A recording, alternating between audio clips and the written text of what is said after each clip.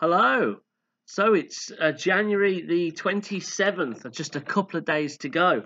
Um, and today really follows on quite closely from yesterday thematically. And we're looking today at 2 Peter chapter 1, verses 5 to 8, which says this For this very reason, make every effort to add to your faith goodness, and to goodness, knowledge, and to knowledge, self control and to self control, perseverance, and to perseverance, godliness, and to godliness, mutual affection, and to mutual affection, love.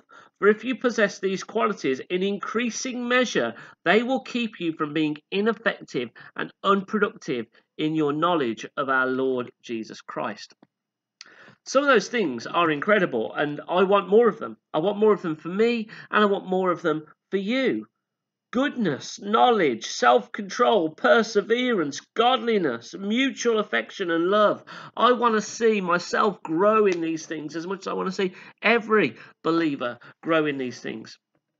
The thing is, what I'm reminded throughout all of this season is it's not about me trying harder, although I do have to try. It's about the fact that these things are characteristics of God. And the closer I get to God, the more I draw near to God, the more I dig in to God, the more of his character fills me, and then the more of his character overflows. Do you want to see more of those characteristics in your life and in your relationships? Then dig into God. Cry out saying um, to God and say, God, I need more of you. More of you and less of me. It starts with Him not with us. So again, make today a day of simple surrender, surrendering your agenda, your opinions, how you feel about other people, and say, God, I just want to be filled with you and your will and your love for people.